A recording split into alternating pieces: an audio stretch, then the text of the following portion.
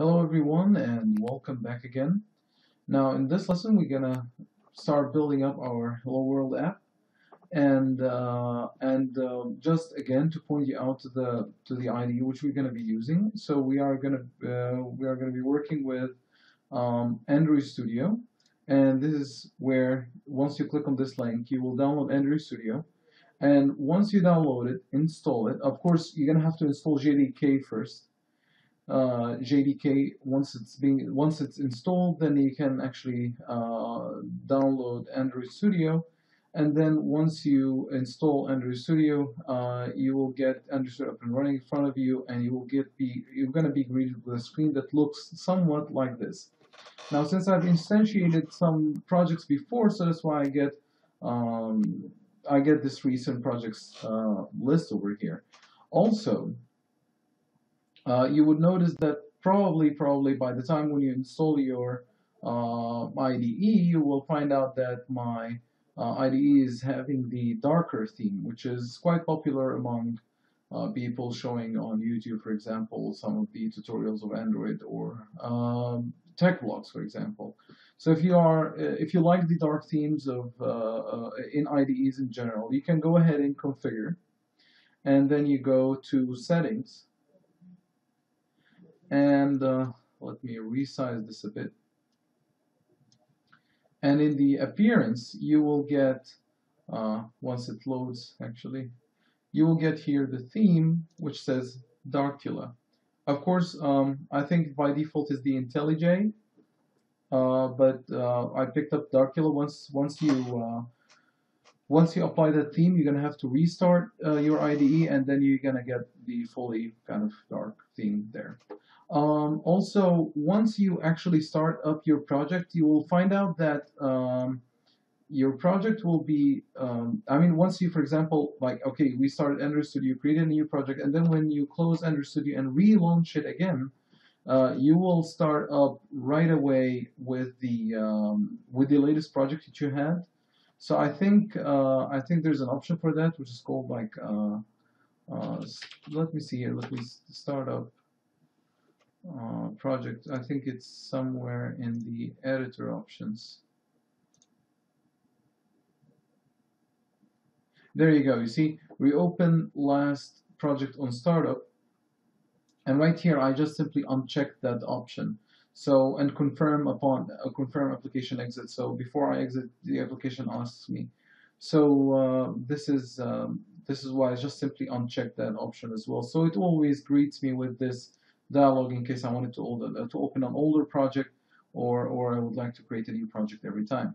Now, once, again, once you had Android Studio up and running like this, please don't forget to press the button check for updates. So once you click on the button check for updates, you will get this update info. And of course, I mean, currently my release is, uh, by the time of this recording, 0.5.1, uh, which is uh, updated to the latest version. If you run Android Studio as an administrator, and you have to run it as administrator, so you could go to the SDK manager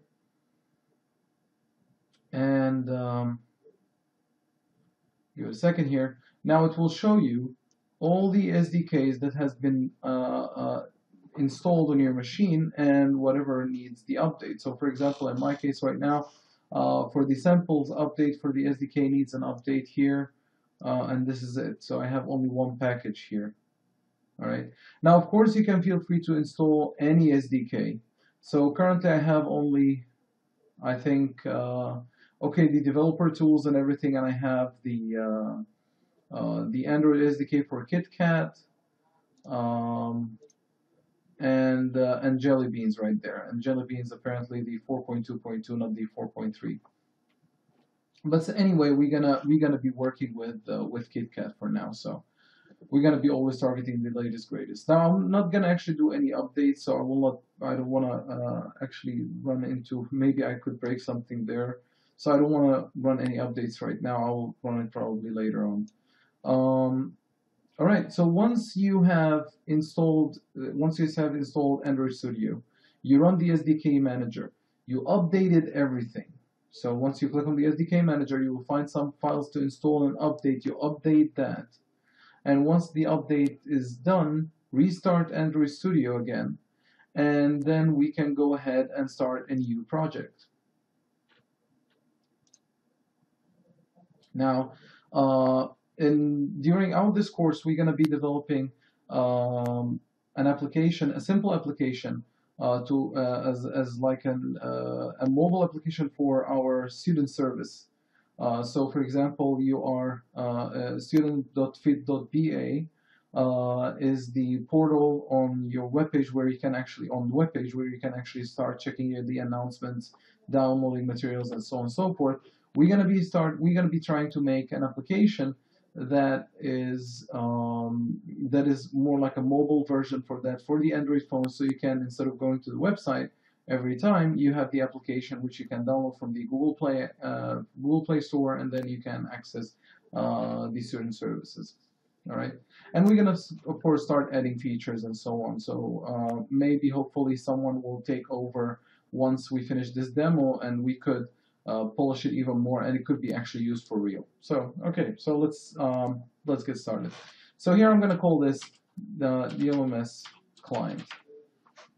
Okay, I will leave this as it is for now. And uh, usually the package name is quite famous among Java people that that or among Java programmers that you write the reverse domain name. So I'm going to call this ba.fit.dlmsclient.dot app and I'll leave it that way. And this is the project location, so users, username, which is Mohammed in my case on my PC, Android Studio project, uh, projects, and, uh, and then the folder.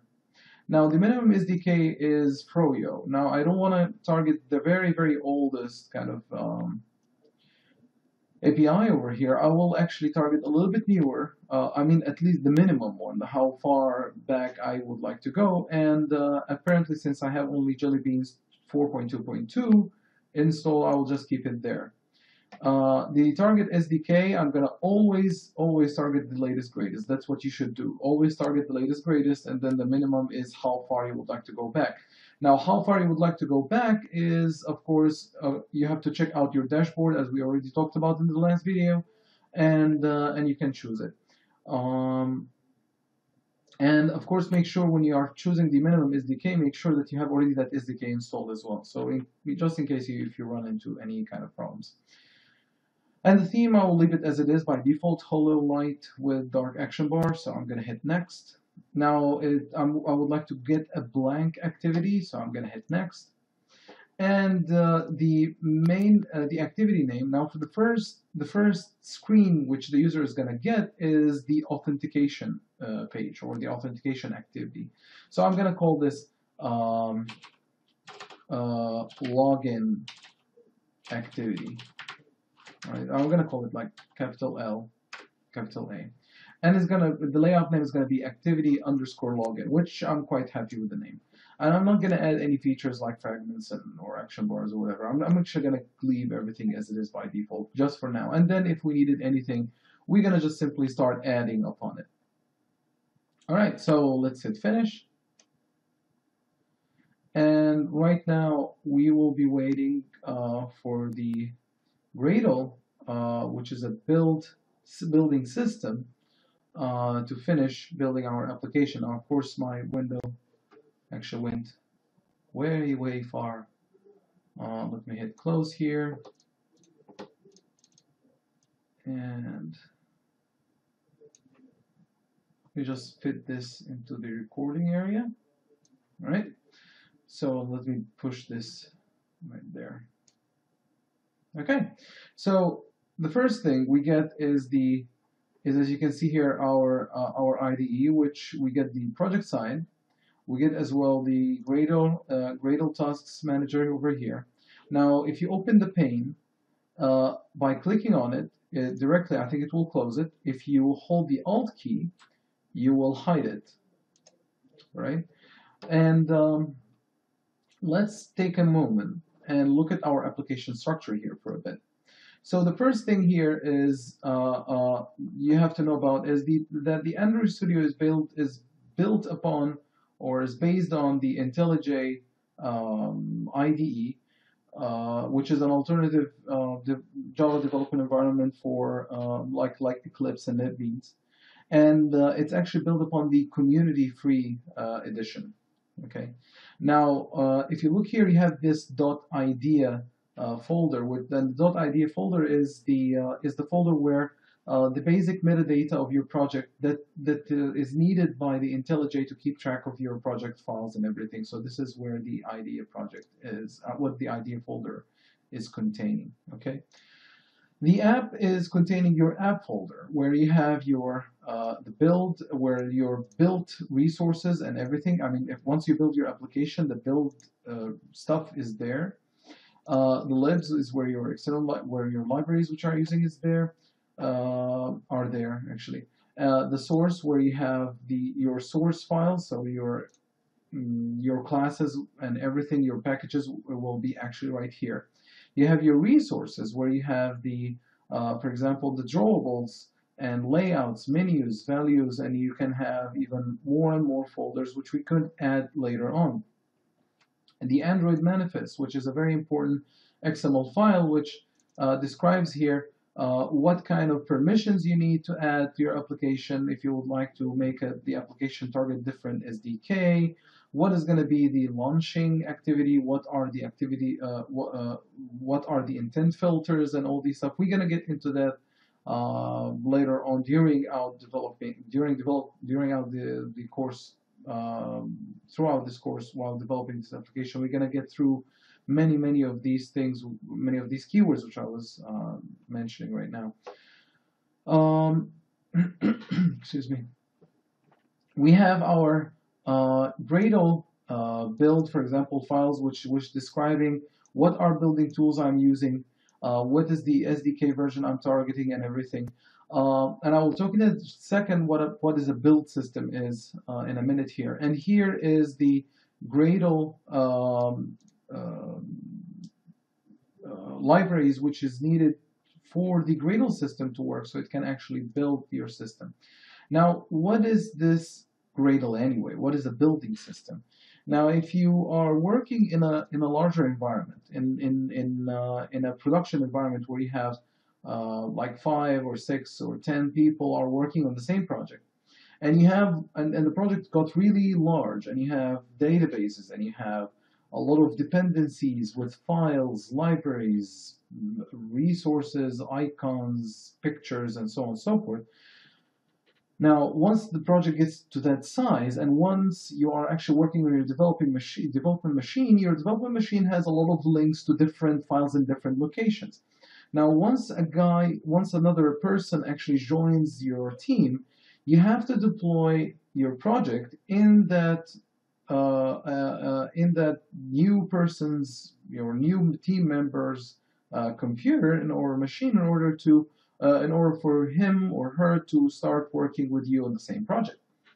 Now the problem here is how would you automate that process without having a lot of pain in copying and pasting every single file, matching the directories uh, paths, and and and making sure that, for example, certain services are installed and certain, for example, SQL databases have been instantiated or, uh, or deployed and, and, all these stuff. Um, you, if you are doing this by hand, uh, this will take really a very, very, very, very long time, and this is really bad. And, and it's really counterintuitive and really problematic. Uh, and for example, could take hours and maybe days to, to for that to happen. Now, what a building system does is, is, is more like a scripting system or like a monitoring system which keeps track of every file you have in your project.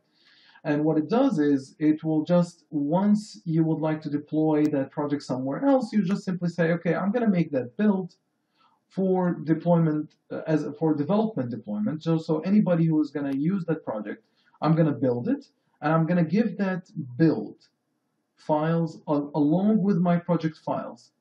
And then whoever is going to be trying to deploy that build in, your, in their machine, they will just simply run a simple command and they will immediately, the, the, and they will just sit back in, for in, in like say in 10, 15 minutes, the whole project will be deployed on their machine and they can immediately start working right away.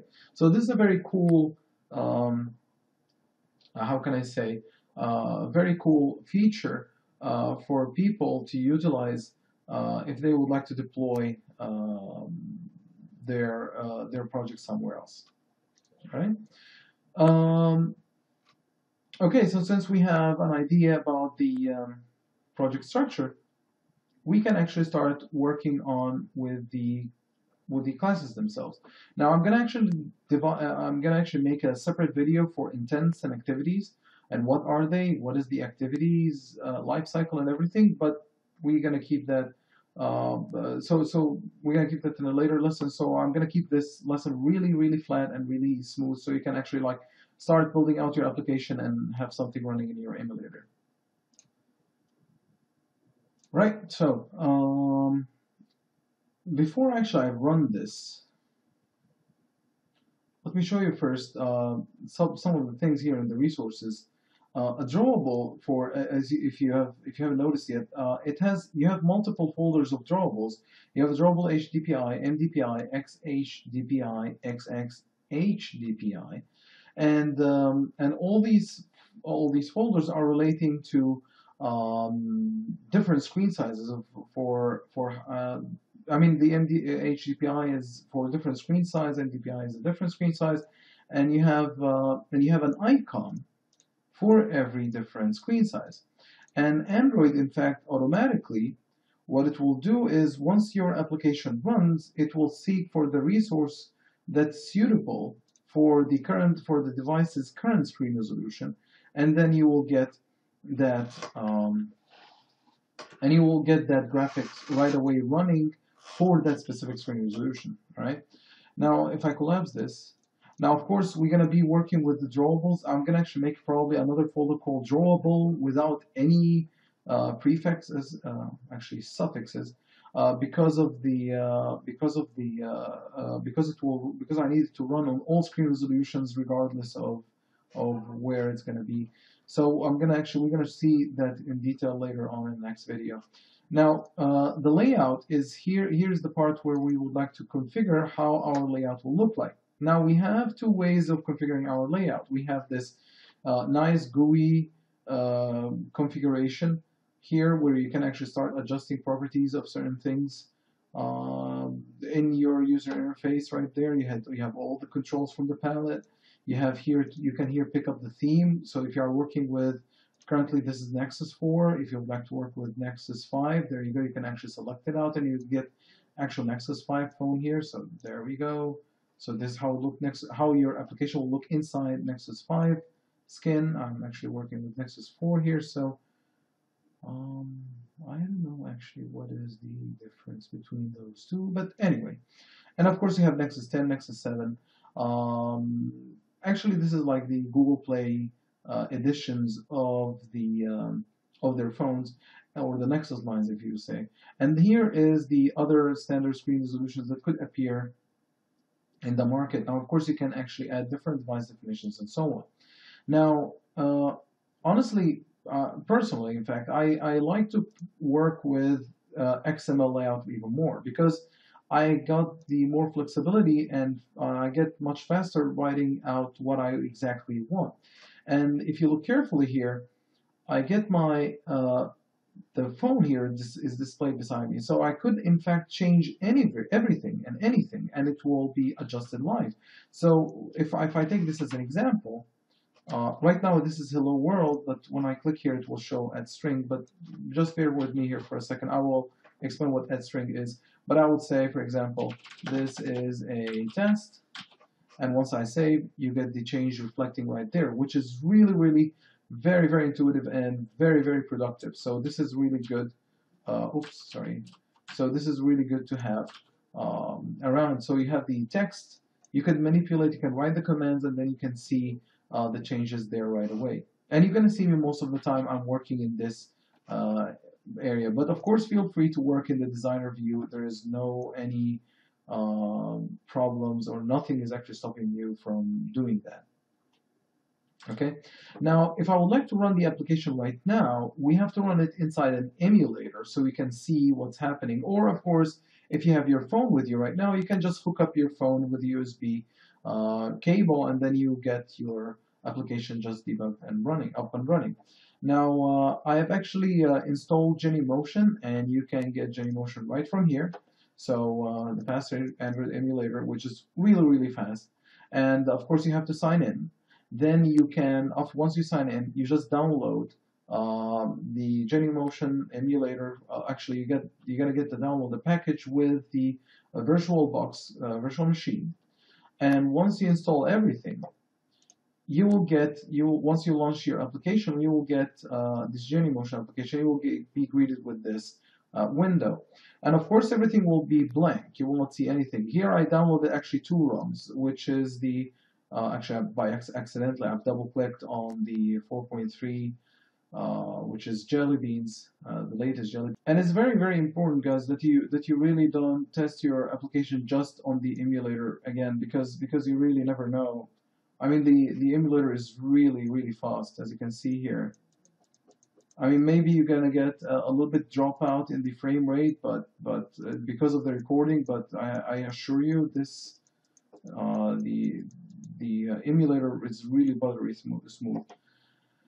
Now, if you hit the uh, start button, by the way, if you don't own, uh, if you don't have an Android phone or you haven't uh, owned an Android an Android phone before, I advise you to uh, install the emulator. This is actually as closest as it gets to an Android phone. So you can just start exploring, see how the phone works and, and, and everything. And, and this is really almost close to experience to, to a real phone. So uh, you will have, uh, uh however, you're going to have a little bit different applications that don't exist, exist in other phones. For example, the super user, which exists only if you have rooted your phone. Um, the API demos, you, you don't see that on your phone, of course. And when you click here, you'll get all the uh, demos that are ex that exist in the documentation. So for example, if I had the animation, if I go here, for example, seeking, and then if I hit run, so this is like, so I could control certain things here. All right, so this is this is like for you know, seeking, tracking here, animation and everything. And of course you got you you get you get a lot of these things. Um, animation, bouncing ball. So this is really kind of cool.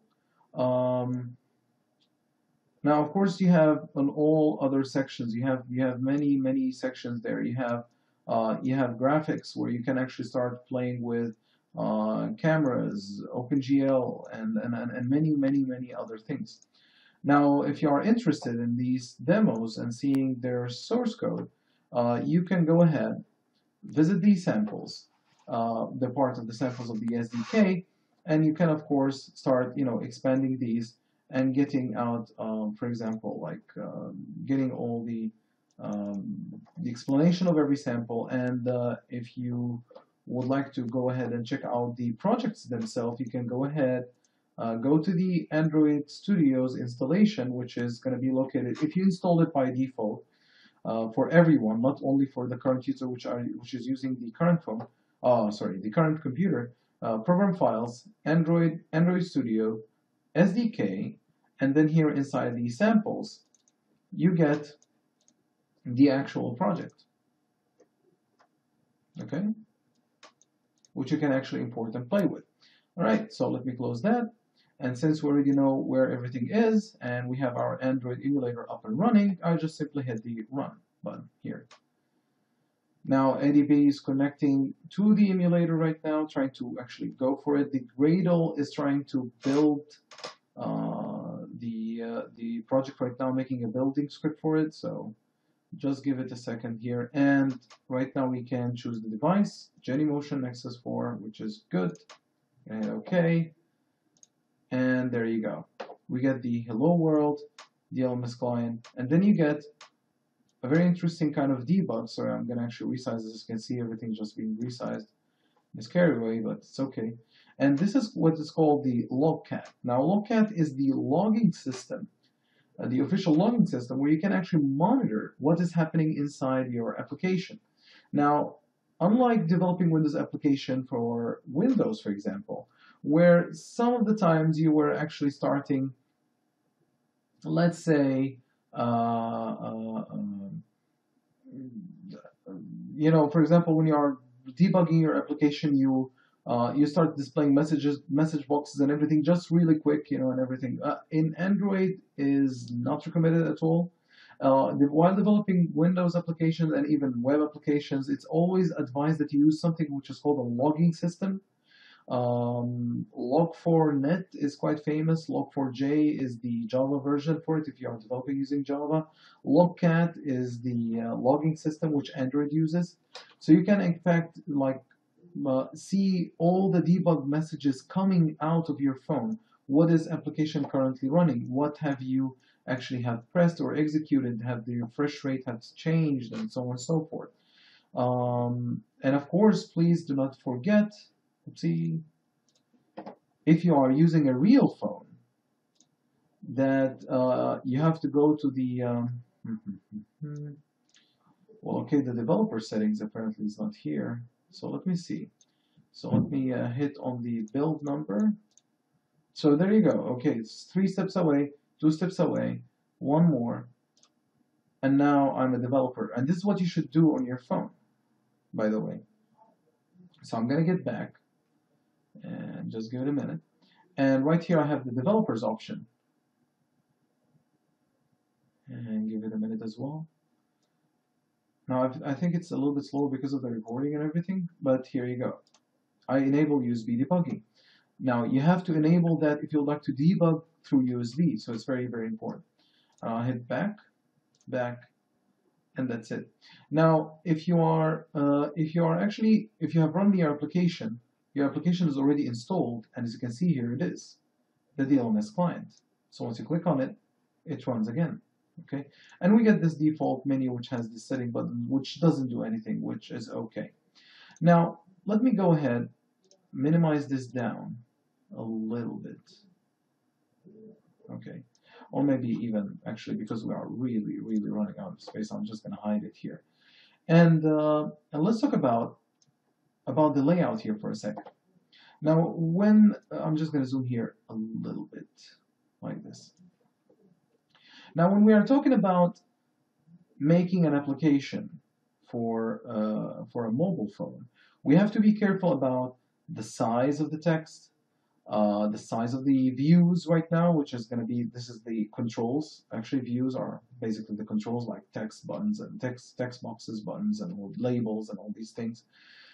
And, uh, and the distances between them. So it's very very important because because our fingers are a little bit larger than the screen. So it's very very important that you actually get this uh, UI kind of layout right. Now additionally we have we need to make a login layout where where we're gonna have like the username and password and a button submit.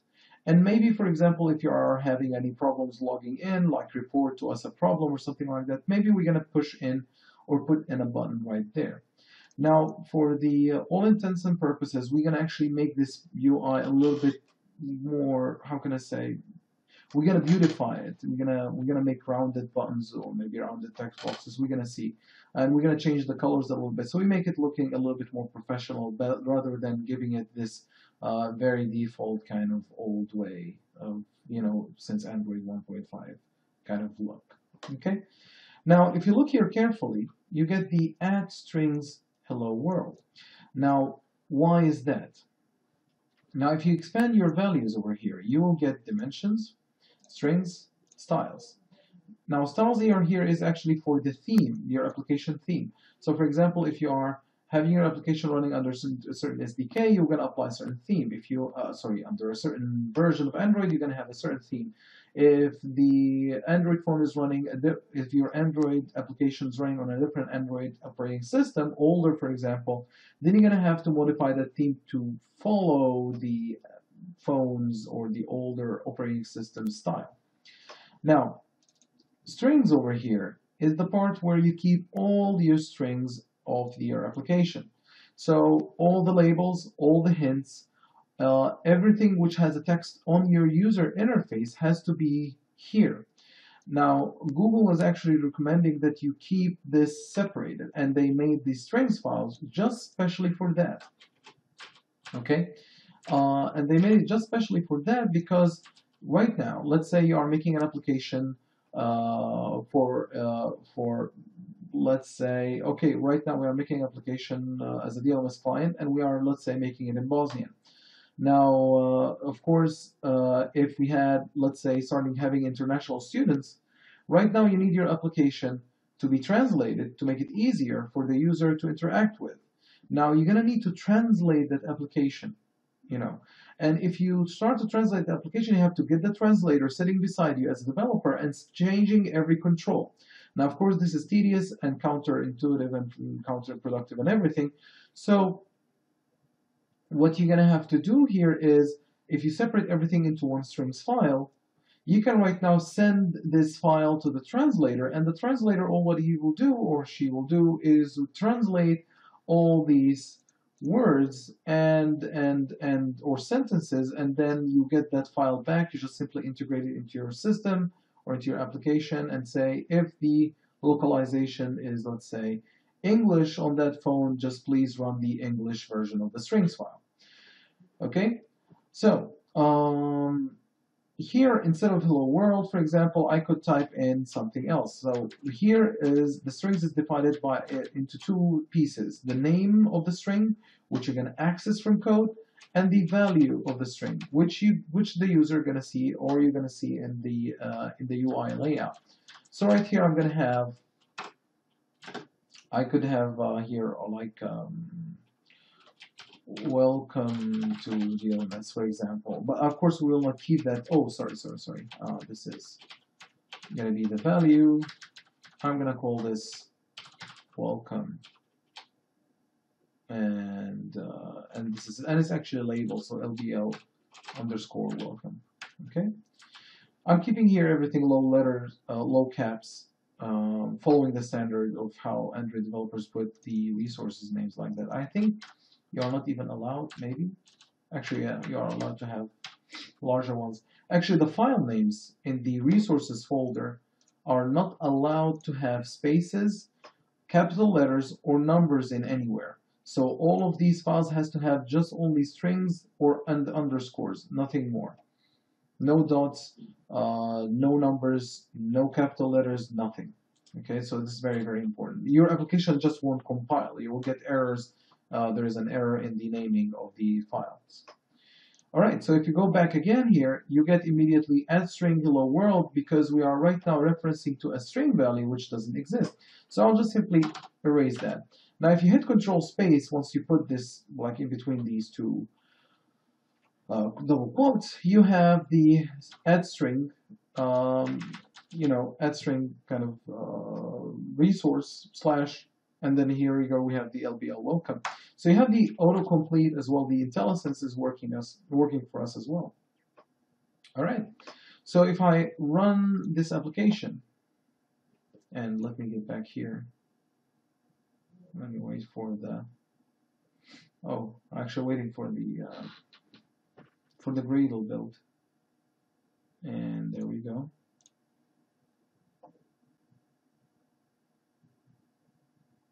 give it a minute. And there we go. So welcome to DLMS now again please do not think about this the size of the text is okay on your screen. It is really tiny okay?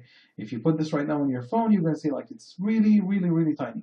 So uh, in order to fix this we're gonna have to go to design go to um, metrics and grids and right here we have to follow the Android's metrics all right so we have to find how large is the um, is the text here. So for a 400, uh, 48 uh, depend, uh, density independent pixel here has to be mm -hmm. so we have here like 16 dp so this is the medium text. So let me double check here. Uh, actually let me go back. I have to say Android I think uh, size maybe or text size there you go.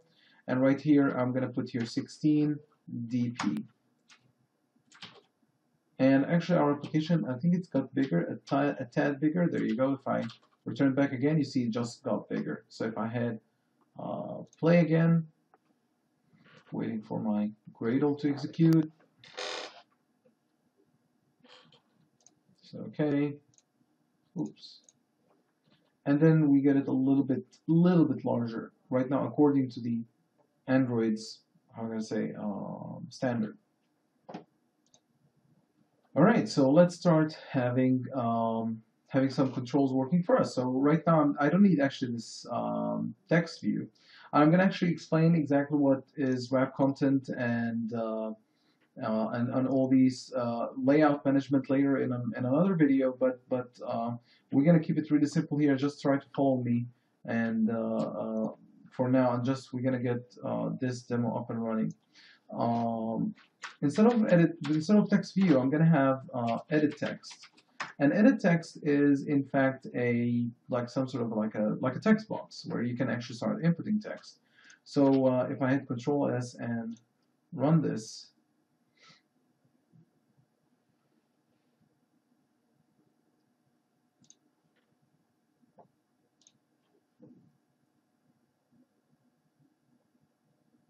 and there you go. You can in fact start uh, uh because I assigned the text uh, property to the text box, so that's why I can start typing things. And you can see here, my my text my text box starts to uh, to expand based on the uh, text which I'm typing. Now, of course, for a login screen, this is kind of weird, and it's even weirder to have a text right right there written for me, and I have to erase it. Now, what we need to do is to have a text box like this, or the edit text has to be centered right here, expanding to the edges, have the password as well under it, and then we have like sign in button there. Okay, so how can we do this?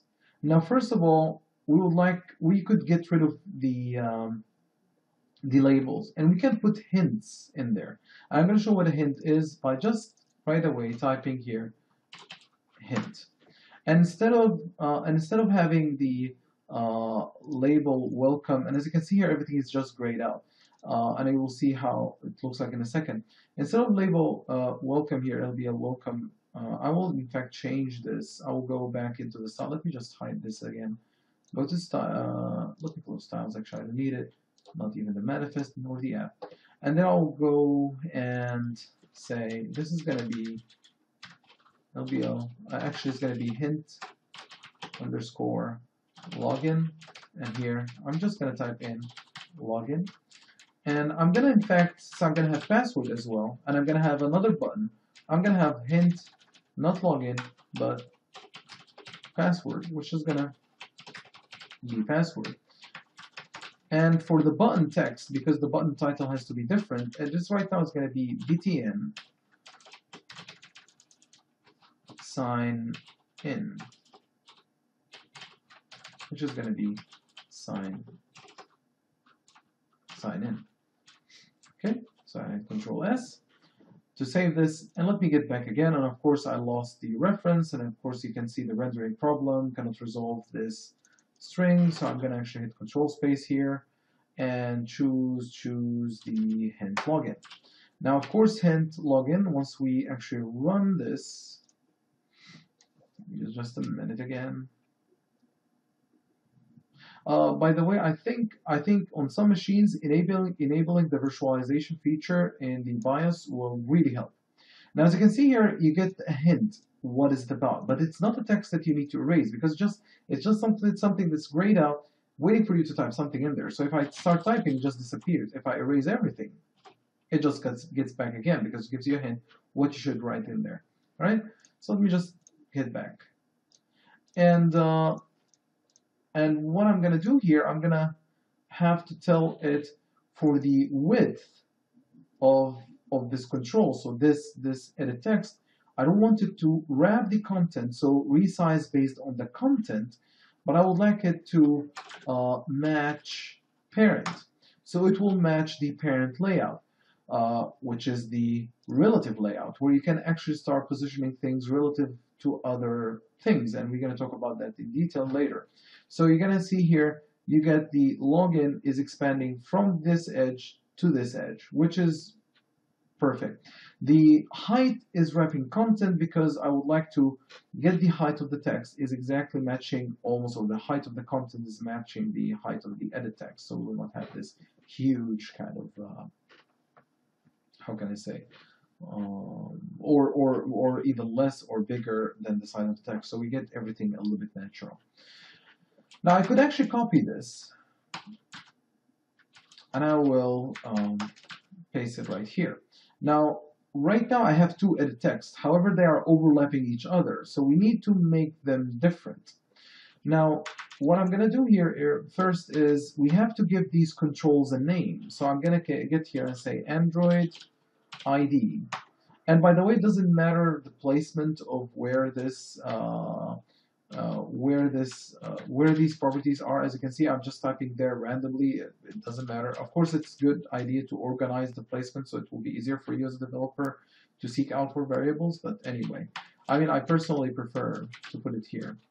Now, here I'm going to add add plus ID because here you are adding to your resources folder or resources files. You are adding a view. So here I'm going to add I'm going to call this txt login. Right now I've successfully added NU name to the uh, to the control. And let me, uh, in fact, just keep this nice and neat and just keep it there. All right, and here I'm going to give this one Android ID equals to plus ID txt, and I'm to put here password. Opa txt password. And um, and yeah, instead of the hint of login, I'm to give it the hint of password. Right now you can see how they are overlapping. Now how can we tell one edit text has to be under the other? In order to do that, what I'm to do here is say Android layout. Um, for now, I have to center it so center and parent is equal to true. And right now, my password is actually at the center. But I would like as well to make this one in the center, is it? So layout, center, and parent is as well true. Now we didn't we didn't escape the problem yet. We still have the same problem.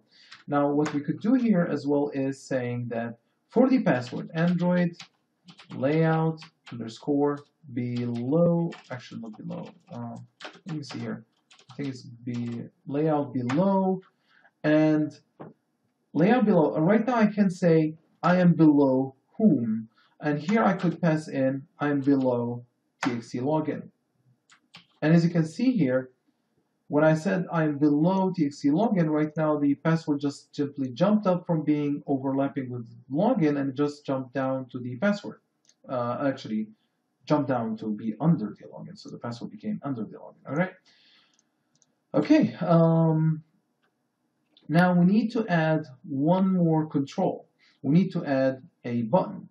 Now, of course, by the way, you can see here that the distance is not okay. We're going to actually manage that later in the next video. Um, right here, I'm going to have the um, button. And uh, by the way, I just put the bracket here and I hit you know, I didn't hit A with anything. Just it just it immediately appeared for me all the controls which I would like to have. And if I hit enter, it immediately asks for me what is going to be the width. And I'm in fact seeking for matching the parent. I would like to make it extend uh, under the text box all the way to the side. So I'm going to call this match parent. Now, how much how much for the height? I'll just simply say wrap the content. So put the height of the button as high as the content gets. If the font of the button of the text or the text on the button gets larger, the button will get larger automatically. Now what we need to do here, of course, we need to add an ID for it. We need to name it because we need, first of all, to address it when we click on it, so we can access it from the uh, from our um, code behind in the Java side of the world. And also we need to know how to access it uh, from within the XML file so we could um, actually push this under the password. And I'm going to call this btn sign in. Okay? Now, since we have that, we need to put for it a text. So Android text. And uh, by the way, you are under the button, certain properties are going to be enabled for you and some other properties are not going to be enabled for you or going to be disabled for you. So don't think that all the properties are all open are all open. This, uh, this IntelliSense is really context sensitive. So here I'm going to have the text is going to be at string btn sign in. Now we get the sign in text written on the button. Cool. Now what we need to do here again is to center it. So I say Android layout uh, uh, layout underscore center in parent. Now if I leave that like that with true, we're gonna end up with the sign in being centered along with the actual text. So I'm gonna say here Android layout underscore below and there I'm going to mention that I'm going to be uh, under the uh, password. And now once I'm under the password, I get my layout has been organized that way. And if I would like to test this, I'll just simply run this so we can see how um, the things look like here.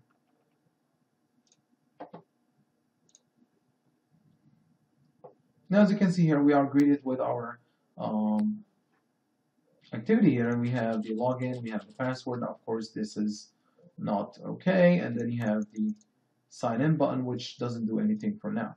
So let me hit uh, back button here. And uh, let me see. If we would like to make this as a password, we say Android password is true and if we run this and wait for it, now if we type in, actually it doesn't do anything. Did I? Oh, I actually added it for the login, not the, so login right now becomes the password. Uh, let me actually exchange that. Uh, so uh, I'm gonna grab this, Control X. I'm gonna move this right, uh, right there. Okay, so if I run this application again, we have the login, which is going to be login, and we have password, which is in fact the password, so it behaves like a real password. I mean, password input field. Now, in the in the next lesson, we're going to be. I mean, uh, it's really it has been a, bit, a little bit longer, kind of 50 minutes. Right now, we are hitting the 50 minutes mark. Uh, it's gonna, it was a little bit long lesson because we uh, because we really had to introduce a lot of stuff here. I mean, we had to familiarize ourselves with a lot of stuff here. Uh, but uh, in the next lesson, we're gonna be starting um, styling our activity, uh, adding colors, um, making uh, making our buttons and uh, and text boxes or edit texts looks look different. We're gonna explore more about the layout and see how we're gonna manage them correctly. Uh, we're gonna get the metrics as well correct and all these stuff. So we're gonna all edit all that. Uh, maybe we, if we have time, we immediately go ahead and open even uh, go ahead into the home activity where we're gonna have our home screen where we'll get all the announcements uh, displayed for the students. All right.